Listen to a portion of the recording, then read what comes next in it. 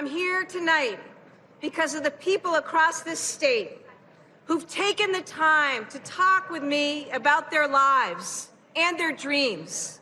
To those who voted for me and to those who didn't, I want you to know I'll be a governor for everyone. And I. Welcome back to GMA3, the history making moment for the Commonwealth of Massachusetts. Voters there electing the first woman governor as well as the first openly lesbian governor in our nation's history. And look at who we got here on GMA3 now. There she is, now governor elect of that great state. Uh, Maura Healey, ma'am, thank you so much for being here. Welcome to the program. It's been a few days now. Um, what has it been like day after day after day now this week? As it starts to set in a little more of the history you just made. Well, good afternoon, and it's great to be with you. Happy Veterans Day to, to all out there. It's been an incredibly exciting couple of days. It was fantastic election night because not only was I fortunate enough to be elected, but we also elected so many women up and down the ballot here in Massachusetts. And the day after, I was able to go out and spend time with young girls in an after school program and to walk into the room and see their faces lit up. Um, because seeing is believing. And I think for these girls, they were able to see somebody who looked like them. Mm-hmm. And it was just, it's just been really, really exciting as I hear from, mm-hmm. from young people, young women, young girls, uh, obviously folks from our LGBTQ community.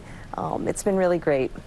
And Governor elect, not only are you a trailblazer, but you've broken quite the streak. Before your run, six attorneys general attempted to uh, run and, and tried to get to be the governor of your uh, great state. They all failed. You overcame this so-called attorneys general curse. How did you do it? Well, you know, I give credit to the team in my office. We worked hard over the last eight years, uh, taking on some of the big fights. We went after Purdue Pharma and the Sackler family for the devastation they caused. And, you know, there were so many cases and investigations where I think people understood that I was about standing up for people in this state. Uh, I also ran a campaign that was about delivering for people and not dividing. And I think at a time when so many people are tired of the noise and the vitriol.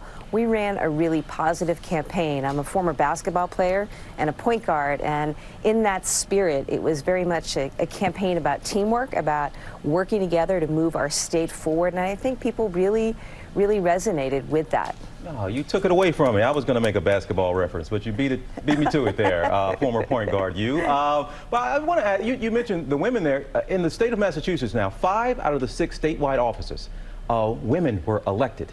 Um, what do you think it is that's happening there? Is it a matter of candidates, quality candidates, voters? What are you? What have you all figured out there?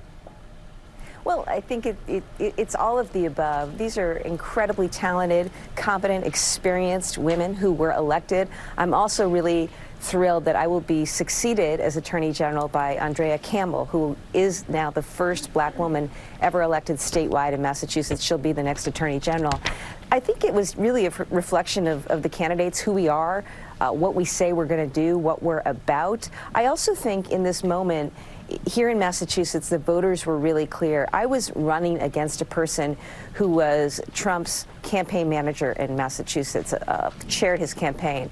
He wanted to return Trumpism to, to Massachusetts, and the voters just rejected that. The voters rejected my opponent, who was also an election denier.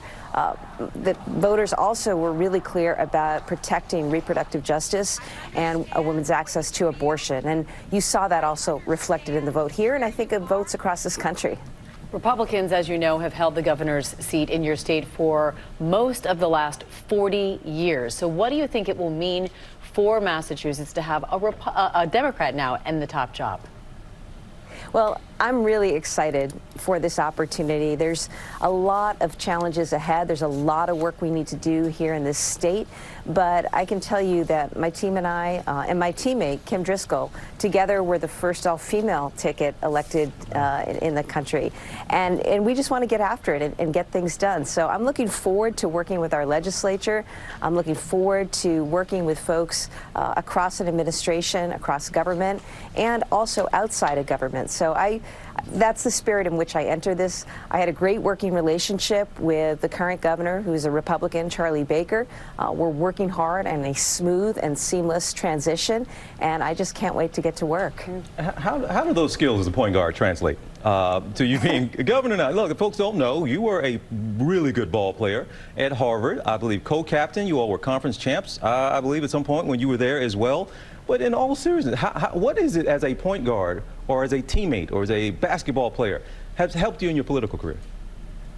Well, you know, TJ, the, the greatest statistic for a point guard is the assist. It's it's not about the points scored. It's about moving the ball, making sure that everybody gets a look, uh, working together truly as a team. You're also the floor leader, and you know, I think that sports, athletics have really helped me. They've taught me a lot about resilience and hard work, and certainly teamwork. And in this day and age, where the problems that we're confronting right now as a state, as a country, are really great, you need to be able to harness all the resources, bring people together, uh, get them essentially playing together and playing well together. And that's what I'm going to try to do. Well, we certainly have appreciated hearing your enthusiasm, your optimism, and talking about uniting the people of your state. Massachusetts Governor elect Maura Healey, congratulations and thank you for being on the show. Great to be with you. Hey there, GMA fans. Robin Roberts here. Thanks for checking out our YouTube channel. Lots of great stuff here. So go on, click the subscribe button right over right over here to get more of awesome videos and content from GMA every day, anytime. We thank you for watching, and we'll see you in the morning on GMA.